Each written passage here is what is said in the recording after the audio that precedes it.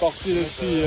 Franchement, euh, ça a l'air sympathique, hein Salut à tous, alors première fois que je fais ça au réveil, il est 6h45, on s'apprête à partir pour prendre la navette pour aller de Paris à Beauvais, l'aéroport, pour ensuite commencer le road trip. Donc on va à Malaga, on change de ville tous les jours, ça va être super. Bisous toi Bien arrivé à Malaga, dans laquelle se déroulait l'Eferia de Malaga, on a eu beaucoup de chance de tomber sur cette semaine iconique de la ville.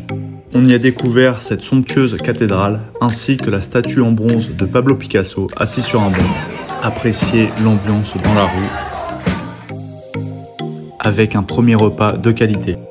On a ensuite visité le château du Gibralfaro, construit au XIVe siècle par Youssouf Ier de Grenade.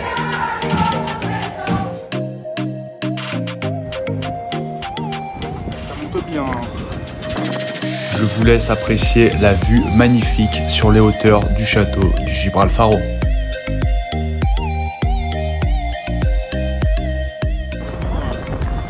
Ça a l'air sympathique, hein Ça, c'est le centre Pompidou de Malaga. Pas mal, non?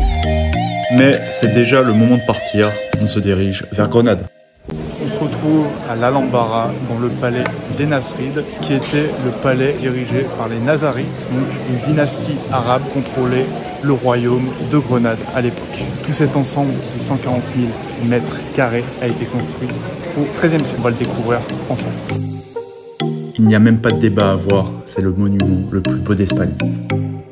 Admirez l'architecture, les détails sur les murs ou sur les plafonds qui sont incroyables. Pour finir la visite, il y a des jardins magnifiques. Je vous emmène voir ça. Alors, j'avais raison, non? Et à part ce mec bizarre devant, il y avait personne. Parfait pour profiter et en prendre plein les yeux. C'est le monument le plus visité d'Espagne, avec 3 millions de visiteurs par an. Voilà la raison aussi, ça joue.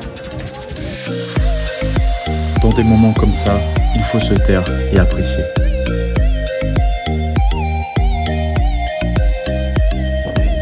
Dois quand même leur dire, ça me démange. Cette vue est tout simplement somptueuse. Hein? À droite, c'est le drapeau de Grenade, pas du Portugal. Jour 3 du road trip, on part de Grenade, on va à Caminito del Rey et ce soir on va dormir à Ronda. On n'a pas beaucoup dormi les trois dernières nuits, cette nuit 5 heures, dans 6 heures, donc ça commence à fatiguer un peu, on a beaucoup marché, mais ça fait plaisir, on visite, il fait super bon le matin très tôt. Ça va pas rester comme ça malheureusement, il va faire chaud, mais on va profiter.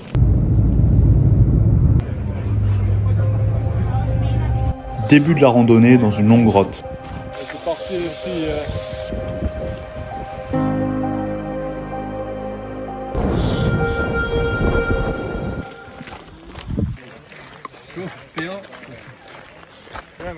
Ça, ça a un goût de chocolat en vrai. C'est pas mal. Après avoir repris des forces avec l'aliment dont j'ai complètement oublié le nom qu'on a trouvé là-bas, on a continué la randonnée de 5 km avec de l'eau, de la montagne, de la verdure, de tout pour faire un paysage sublime. Là, c'était le dernier pont avant de finir, et comme tu peux le voir à ma tête, j'étais pas à l'aise et ça bougeait beaucoup. On vient de finir El Caminito del Rey, qui veut dire le petit chemin du roi. Donc c'était un roi qui l'a inauguré au XXe siècle, raison pour laquelle ça s'appelle El Caminito del Rey.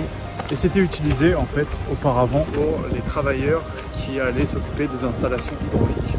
Ainsi qu'on est sur un lac, un fleuve. Voilà, c'était très bien, il fait assez chaud, euh, très impressionnant et c'était super. J'ai beaucoup aimé. 5 km en tout, Caminito del Rey. On à l'hôtel, on va récupérer notre voiture. Et oui, c'est déjà fini. Mais t'inquiète, on se retrouve bientôt pour la partie 2, puis pour la partie 3. Alors abonne-toi.